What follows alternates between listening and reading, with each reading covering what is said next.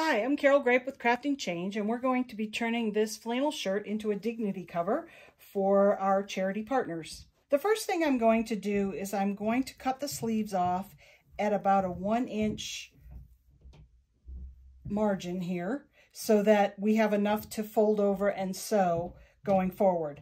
I'm, I'm showing the sewing technique as opposed to the serging technique, but you can do a lot of this with a serger. So I've lined up my seams along here so that I can cut the whole sleeve off at one time. And I'm just going to start, and I'm just using my um, gauge, and I'm going to just continue to move it around until I get it all cut off. I forgot to tell you that one of the first things I do is remove any labels on the back of the shirt and I remove any buttons on the side of the shirt before I start cutting, cutting it up. The first thing I'm going to do now after cutting the sleeves off is I'm going to cut the front of the shirt from the back of the shirt and I'm just going to go up the side of the seam on both sides and go right up through my sleeve area and then I'll just cut this side as well.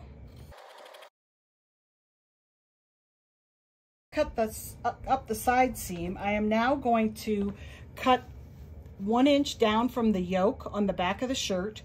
If you don't have a yoke on the shirt that you're using, a good idea would be to find a shirt in your house that has a yoke, kind of measure and see where it is from the base of the collar, and then do a line straight across the back of the shirt to cut it. But again, I want an inch border so that I can I have a hem that I can fold over later and sew in place. One of the things we want to determine is how much opening we need to keep on the shirt so that it will fit over somebody's head. I tried it at the second button down and it was a little too tight. So I've determined that I need to keep that button open. So I am going to just go above the top. I'm going to sew this just above the top of this button. And what we're going to do is we button up the shirt. We're going to sew across the placket, go all the way down to the bottom of the shirt and come back up and um, sew across here again so that we've closed up the whole front of the shirt.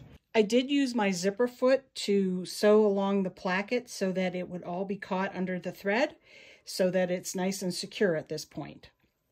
One of the things I forgot to mention is when I first started, I washed the shirt because it's a used shirt. I washed it and I ironed it before I started my project. One of the great things about using the flannel shirt is we already have our flannel piece for the inside. Our next step is going to be to put these two pieces face to face and we're going to pin pin this together and uh, sew down the sides first.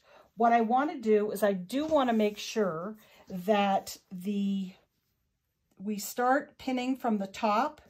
We line up the sleeve holes and you can pin or clip at this point. I'm just going to pin this pin this piece in place right here. And then I'm going to pin it on the other side, get it lined up. Again, we want to line those seam seams for the sleeve up. And I'm going to see how this works as far as how flat it is. And that's going to be pretty flat across there. And then I'm going to line up the side seams. We're going to be cutting off the bottom of the shirt, so I'm not worrying about how it lines up at the bottom. I made the mistake on the first shirt I did to line up at the bottom first and then uh, and pin it, and it didn't work out as well when I wanted to join these these sections of the shirt. So I'm going to actually trim this up a little bit, and then I'm going to um, clip it together, and then sew up, sew up the sides on both sides first. Now that I've sewed up the sides, I'm going to trim the bottom, and I'm going to keep the shape as much as possible. Um, I'm just going to trim around this base here. I'm going on the shorter side. It's going to be a little hard to cut across the placket, but you can kind of work your way through that and then cut up this side. I used a 3 8 inch seam up the side and I'm going to do a 3 8 inch seam here and then I'm going to turn it right side out and iron it. Depending on your sewing machine, you might need to use a hump jumper to get over the placket area when you're sewing around the bottom. After stitching the bottom, I turned it right side out, took it over to my iron and ironed it flat. My next step now is going to be to fold down the seam for the yoke. I started in the middle and worked my way out to the ends. This center section was a little ruffly because of the way the shirt was sewn with a gather in the back. I'm going to continue across and then I'm going to take it over to my sewing machine and sew across the whole seam. The next step is to take the shirt over to the ironing board and, and iron this seam open. Then we are going to clip around the armhole and then we are going to take it to the sewing machine and stitch it down. I am this in this case it's going to be a little long.